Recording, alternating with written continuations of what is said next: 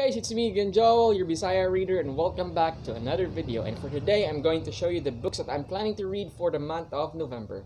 So, by the way guys, before we proceed, I just want to set expectations to you that this video will be the first type of video on my channel for the main reason that this video will not be edited. So this was, or this will be shot with one attempt only and hopefully I will be able to do some justice and commit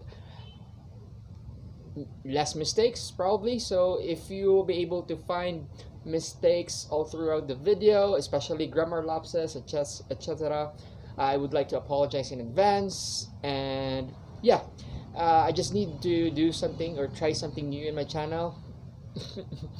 Um, no. To be honest i am just really lazy to edit the video and yeah that's it. So yeah, without further ado, these are the books that I'm planning to read for the month of November. And um, I think the first book that I'm planning to read for the month of November is pretty obvious, and that will be The Toll by Neal Shusterman. I still don't have a physical copy as of this moment. It is still not available here in the Philippines, but it was released already um, yesterday. And um, also, after The Toll by Neal Shusterman, eh, the Starsight by Brandon Sanderson because I've been waiting for months for those books or even a year now to read those books. So I can't really wait to read those this month. And um, next that I'm planning to read will be Cormac McCarthy The Road.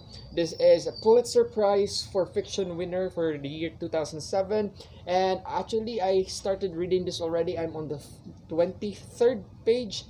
And um, uh, it's it, this is an adult post-apocalyptic where we follow our two main characters, a father and a son, and that's what I know so far because the synopsis at the back is not really helpful. So I'm just really trusting the reviews and also the award for this one. But um, so far, for the first 20 pa plus pages, uh, I'm enjoying it.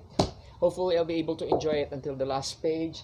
Uh, the next one that I'm going to read or planning to read will be Neal Shusterman's The Schwa Was Here. This is one of the first books of Neal Shusterman published way back in 2000 or early 2000s.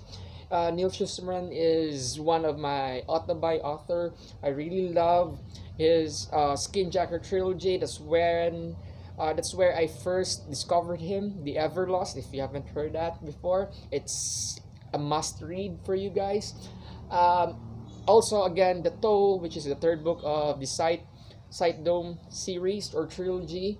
Um, neal shusterman this is actually a young adult or middle grade but based on the length i think this is a middle grade contemporary. And to be honest i don't have any idea what this book is all about. All i know is that this is uh, the category and the genre. That's it. I'm just really trusting Neal Shusterman with this one so yeah hopefully i'll be able to enjoy this and this is a very short read so i'm pretty sure i'll be able to finish reading this for the month of november. The next book that i'm planning to read will be a mystery crime slash thriller adult that will be lucy clarke's last seen. I did find this one interesting. Um in the synopsis for this one is that we follow a mother as the main character in which seven years ago before the story in this book started one of his sons or her sons uh, was abducted or got lost.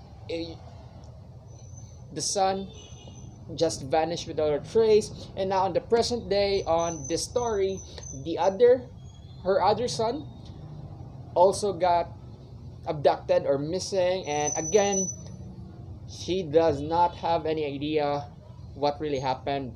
It was kidnapped, killed, or lost. And yeah, I just can't really imagine what uh, pain the mother undergoes in the story. So it's kind of interesting. And the main reason why I picked this is because of the good reviews on Goodreads. And I just saw this on book sale, by the way, and for a very cheap price, probably around 35 pesos, so less than a dollar. Yeah, Next is I'm also planning to read Alastair Reynolds' Revenger. If you don't know, Alastair Reynolds is one of the best science fiction writers for adult categories. And to be honest, this one is not an adult under adult category. It is under young adult, which I was really surprised because I did not expect Alastair Reynolds uh, is writing under the young adult category. Um, in this story, we follow our main characters who do have an ability to read bones, and when I say read bones, they're able to um, see the life and the secrets of the owner of the bones. So basically, the the bones is from the corpse of that individual, and the settings here is set on space. So they are these main characters, young adult, are are working for a very well known and prominent um, space pirate, and they were being used, or yeah, they were being used by this prominent space pirate to hunt treasures. So it's kind of exciting. So it's science fiction with a twist of fantasy in the outer space.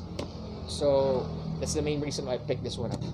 And lastly, hopefully, uh, this is very ambitious, but I'm still going to do my best. Uh, I'll be able to read the first book of the Lightbringer series by Brent Weeks, The Black Prism. This is the first book of the series, and this is an adult high fantasy, and uh, in which we follow.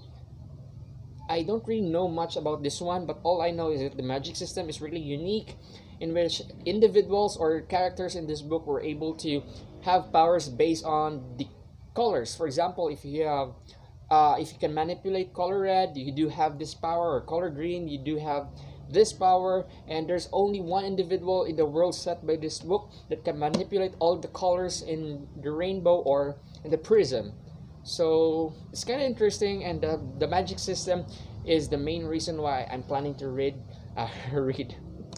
There's there goes the mistake, and it will not be removed from the video. So laugh all you want. um, yeah, The Black Prism by Brent Weeks. And um, there's a mixed reviews for this one. A lot of people really hate this because of some issues with regards to sexism. Um, but uh, I think this book will be able to deliver or give me my needs and wants as a reader. So I'm still going to attempt to read this one. And I already own the first two book of the series. I have the second book up there so yeah i'll attempt to read this for the month of november so yeah that's it guys thank you so much for viewing my video and um, I would like to apologize if I'm all over the place or my thoughts are not really organized. I just came from the office. I just actually arrived minutes ago from the office and I still don't have enough rest or sleep. So yeah, thank you so much and I'll just uh, keep you posted and wish me luck that I will be able to finish reading all of these books for this month. Thank you and bye bye.